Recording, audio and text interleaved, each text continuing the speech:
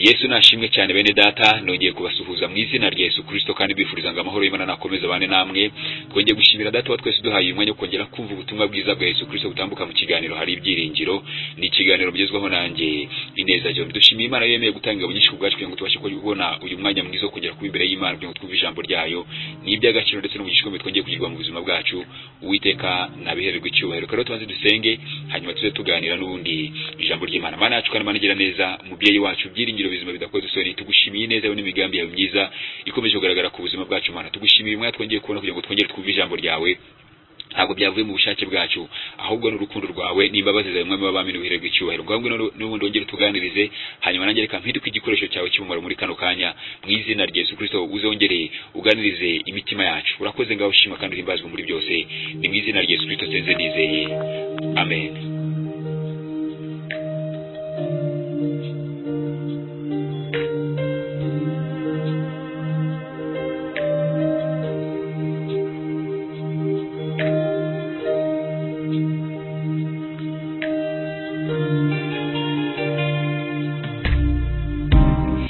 Munyemerere nongere mbahe ikaze muri kino kiganiro reka dusome ijambo ry'imana riboneka mu butumwa bwiza bwanditswe na yohana turaza kuba dusoma ibice makumyabiri na kimwe dusome umurongo wa mbere turaza gusimbuka dusome n'umurongo wa gatandatu. Umurongo wa mbere haranditse ngo hanyuma y'ibyo yesu yongera kwiyereka abigishwa be ku nyanja ya tiberiya yerekana atya? Umurongo wa kane haranditse ngo arababwira ati nimujugunye urushundura iburyo bw'ubwato murafata nuko bararujugunya ntibaba bakibasha kurukurura kuko ifi zari nyinshi. Uwiteka nahimbazwe kandi nahabwe icyubahiro kugira ijambo duhaye muri kano kanya turi ku munsi wa gatanu n'ubundi iyo tudafite amasengesho tuba dufite ijambo ry'umwihariko tuba turi buganiro ritandukanye n'intego tuba tumaze iminsi ine tuganira. Imana yacu ntihimbazwe cyane. Rero tuza kuba tuganira ku ku ijambo rifite umutwe w'amagambo ngo yesu akwiyereke kandi akuremere n'ubutabazi mu izina rya yesu. Imana yacu ntihimbazwe cyane. Yesu akwiyereke muri uyu mwanya hanyuma akuremere n'ubutabazi. Kuko ndazi neza ko umaze guhura na yesu uba umaze guhura n'ubutabazi mu izina rya yesu. Amagambo dusomye ni amagambo agaragaza inkuru za petero na bagenzi be bagiye kuroba. Hanyuma ngo iryo joro bakesha. Iryo joro ryose nta kintu barobye. Kandi bibiri igaragaza ko bari abahanga mu kuroba. Bari abantu bari bamaze igihe kinini bakora uyu mwuga wo kuroba. Bivuga ngo bari bafite ubumenyi budasanzwe kumenya ngo aya masaha ni amasaha meza yo kuroba. Ariko ngo iryo joro bakesha. Ijoro ryose nta kintu bafashe. Hanyuma bukeye mu gitondo ngo kirisito arabyerekana igihe yari amaze kuzuka.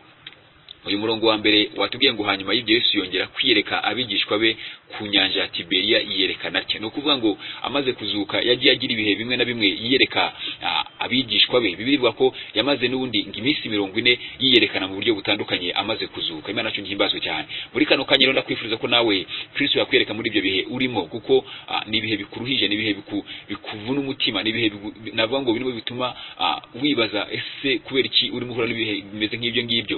Rero ukeneye ko Kristo yongera kukwiyereka imana yacu nishimwe cyane. Hari ibigeragezo tujya duhura na byo tugahura na byo ari ari ukugira ngo wenda imana yongere ikemera ko duhura n'ibigeragezo kugira ngo irebe kwizera kwacu. Hariho n'ibindi bigeragezo tujya duhura na byo ari uko satani yadusabye. Hariho n'ibindi bigeragezo duhura na byo ari uko twabigizemo uruhare. Navuga ngo rero niba wowe nta ruhare wabigizemo cyangwa se atari ishuri ry'imana navuga ngo uwiteka akwiyereke mu izina rya Yesu Kristo kandi yongere areme n'ubutabazi. Wabonaga nta nzira zihari ubona ibintu byose bisa nkaho bikaze cyangwa se bikomeye ubona nta murengezi ufite. Ariko nk'uko Kristo yiyeretse intumwa ze ku nyanja ya Tiberiya reka nawe muri kano kanya. Yongera kwiyereke muri ibyo bihurimo hanyuma ahindure amateka y'ubuzima bwe mu izina ry'Yesu kuko Kristo ahageze ntabwo ashobora gusiga umuntu ameze kuri yamusanze ahubwo ajya abasha gukiza ajya abasha kubohora ajya abasha guhembura ajya abasha guhindura amateka mu izina rya Yesu Kristo. Hanyuma nawe ndakwifuriza ngo muri kano kanya Imana yo mu ijuru ikwiyereke kandi nimara kukwiyereka ndazi ko iri bukuremere n'ubutabazi mu izina rya Yesu. Imiryango yari ifunze ikongera gufunguka aho wabonaga nta nzira inzira zikaboneka aho wabonaga nta butabazi ubutabazi bukaboneka kubera yuko Kristo yahageze imana yacu nishimwe kandi ntibazwe cyane. Umurongo wa gatandatu watubwiye ngo arababwira ati nimujugunye urushundura iburyo bw'ubwato. Bivuga ngo wabonaga inzira zisa nkaho zifunze ariko reka Kristo yongere areme inzira ku buzima bwawe.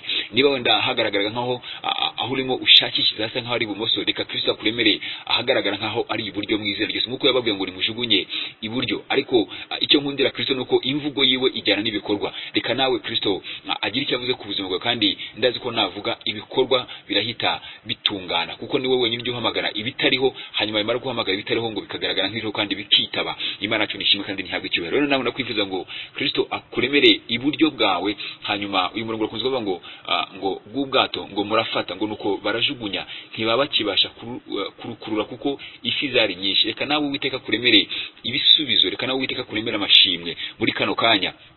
Ubone imirimo y'imana iza ku buzima bwawe mu izina rya yesu kristo. Kandi yiheshe icyubahiro kugira ngo nawe mu gihe kiri imbere utangire ushima imana uwiteka nahimbazwe ndakwifuriza yuko ah, wahura no kugira neza kw'imana wahura na kristo wahura n'umugisha w'imana aho ah, wabonaga bitakunda mbese umaze gushyiraho n'akadomo kristo aze ah, yigaragaze kandi ahindura amateka kugira ngo bimenyekane neza yuko uri mu mugambi w'imana cyangwa se wasenze imana imana yacu nihimbazwe reka dusenge imana kubwira ijambo twumvise hanyuma kristo ndazi ko agiye gutangira. Kuko ni we wenyine ujya ubasha kuvuga ijambo yatangira yamara kurivuga agahita aba inyuma ari kugira ngo risohoze icyo yaritumye. Ndizera ko urimo ukimara kumva rino jambo ah, hari ibyo imana itangiye gukora ku buzima bwawe hari amateka imana itangiye kurema hari ibyo imana itangiye guhindura wowe icyo usabwa gusa ni ukwizera hanyuma ugategereza kugira neza kumara kuko ah, ntabwo kuri kure eh, kuva ijambo ry'imana ryamaze kumanuka kandi ukaryumva ni ukuvuga ngo imana yabonye ko ukwiye kuryumva kandi wamara kuryumva ah, igahita itangira gushyira mu bikorwa ibyo yavuganye nawe. Imana yacu nishimwe kandi ntihabwe icyubahiro rero n'ubundi dusenge imana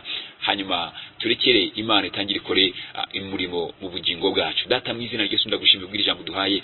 Ndakwinginze kugira ngo reka muri kano kanya wiyereke ubwoko bwawe wiyereke ubwoko bwawe. Abagaragara nk'aho ah, bari mu bihe bisa nk'aho ari icuraburindi mu izina ry'yesu ubabere umuseke ubitam- umwami wanjye mwiza witamurure ku buzima bwabo kandi byiringiro bizima. Ah, wiheshe icyubahiro urema amateka mashya urema amateka mashya mwami. Mu izina rya yesu kristo. Ahari indwara zikire ahagaragara nk'ibibazo wanjye mwiza bidashoboka. Mu izina rya yesu byananiranye bikurweho mu izina rya yesu. Hagaragara nk'aho hari imisozi ikurwe imbere y'ubwoko bwawe mu izina rya yesu. Hagaragara nk'inyanja mana. Hacika inzira mu izina rya yesu kristo.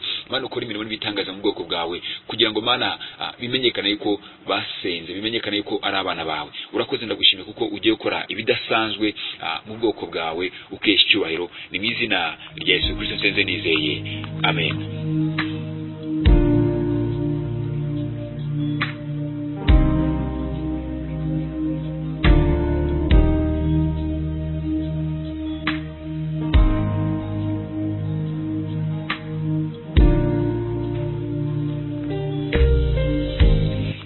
Amahoro ikomeze bagire neza uwiteka akomeza biteho muri byose.